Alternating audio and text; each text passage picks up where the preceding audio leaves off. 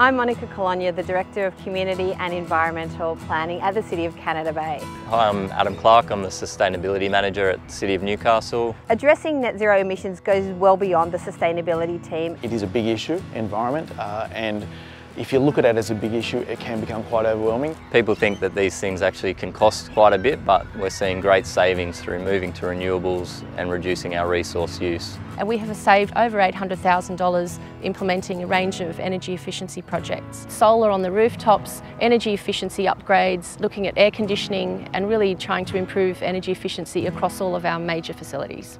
Having an action plan is really critical because it helps you to stay on track. Start small, looking at the costs, looking at opportunities, look at the evidence and then make a decision. We've upgraded a lot of our buildings and facilities with energy efficient lighting, improved air conditioning systems and double glazing and that's seen us save you know, hundreds of thousands of dollars in operating costs across those facilities. The technology's there, the information's available. It's a saving to the community and it's also a saving to the environment as well. It's about what we can do to help our community be part of the future economy, to help them transition from where we are to where we can be, to be ahead of the game.